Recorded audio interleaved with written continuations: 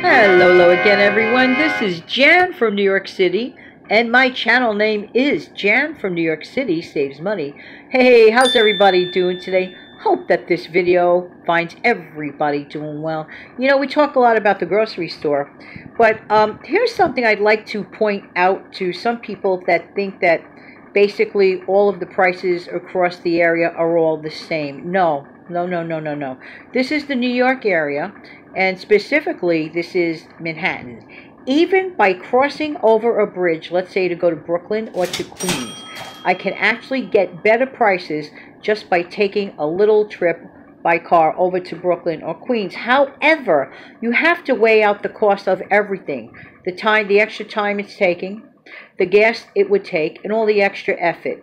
Whereby this is a local market that's, you know, very close by and uh, you know convenient. Now this is where you are paying for convenience. Now tell me something. How much coffee creamer, the small one, do you pay for in your area? We're talking about the small one. What I'll do in a few minutes is I'll put uh, pictures up of the items that I'm talking about. Okay, so a typical uh, small jar, you know, bottle of the powdered coffee mate original powdered creamer here runs for $3.69. So I wanted to for convenience, okay? And you know those little packs of those Nescafe, those instant coffee packs? I enjoy the French roast. I love instant coffee. I'm one of those crazy people that actually enjoy instant coffee. Not only is it convenient, but for me, it has the perfect blend of taste. Don't get me wrong. Of course, I like my, you know, real canned coffee as well. But for convenience and for me, it just hits the spot. And this particular, um, the, by the way, this is not a sponsored ad. If it was, I'd let you know. This is not a sponsored ad. Okay. But I personally, this is my opinion, I enjoy these type of products. Um, okay, now the peanut, uh, Peter Pan peanut butter, the creamy one. By the way, try saying that five times straight without twisting your tongue. Okay. Uh, not the big one, not the big one and I'll show you a picture of that. That went for $3.99. Uh, I needed a reusable plastic bag, so that went for 50 cents. Now, okay. Uh, Eggland's Best Large White Eggs. Okay, I don't know what you pay for it by you, but uh, it's $2.99, but it was marked down $1.20 off of the regular price. Okay, so get a load of what I'm trying to say. We're saying over $4, okay? Unless I misunderstood. I do know that under normal circumstances, at weird times, it can come to that, okay? I have paid uh, much less for eggs sometimes, and when times are tougher in the egg department, I have paid much more for eggs at times. So actually, I'm trying to get a grip on this. I don't really remember offhand, but I'm thinking that the actual price was walking away paying two ninety nine. The worst thing is that maybe they took down a dollar twenty. So forgive me about misunderstanding that, but this is real life and I'm an honest person. Now, I have to laugh when it says pre-sliced mozzarella log. There is nothing pre-sliced. It is uh, it is a brand that uh, sounds like Albany, but you use a G. okay, and it's not pre-sliced; it's a log. So that was uh, four ninety nine and, uh, oh, I see what's going on here. It was marked down from $7. That log would have been $7. And the big bargain is at $4.99. Uh, this other one here is Boar's Head Yellow American Cheese.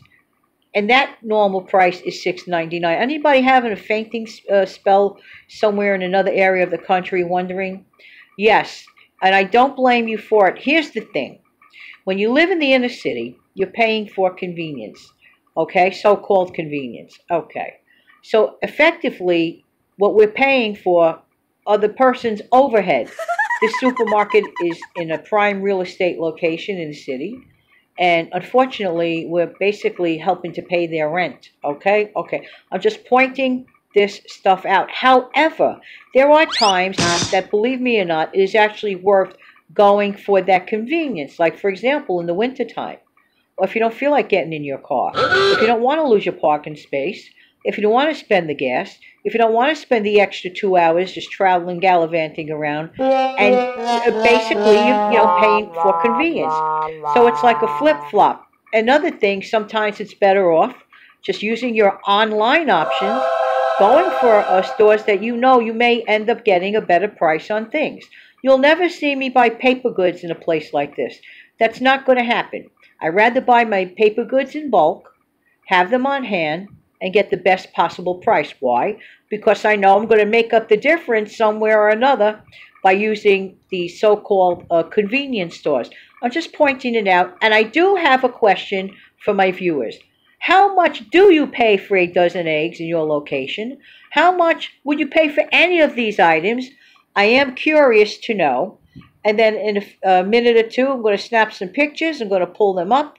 And that way you know the exact size of the product that I'm talking about. And uh, this should be very, very interesting. Did I get a good price on that coffee? You know those six little pouches? Well, put it this way, no matter what, even if it's six cups of coffee per uh, box, guess what? That's still a heck of a lot cheaper than going somewhere else and spending, let's say, two fifty for or three dollars for a cup of coffee outside.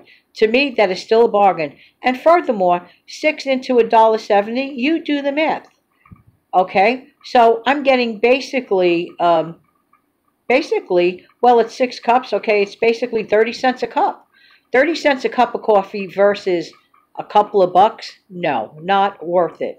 So, okay, the only thing that was probably maybe a little wasteful was the reusable plastic bag. So the bottom line is this. While I know while I know I'm paying for this grocery store's overhead, and I know I am, but I'm also getting the convenience of a close by location. Just saying, just saying. How does it work out for you? I am curious to know. And thank you so much for sharing your information. I really, really do appreciate it. So I'm going to snap a couple of pictures. I'm going to end this with a little bit of music. You look at the pictures, and if you have a chance, let me know if this was a steal or these items were a deal. In my opinion, it's a little bit of a steal plus the deal of convenience. You can't have everything. Just saying, just saying. And the grand total was, okay, 3321. It was 3321. Okay. And I'll be back tomorrow for Money Monday. Yeah, yeah, yeah, yeah, yeah. Take care, everybody. Have a great day.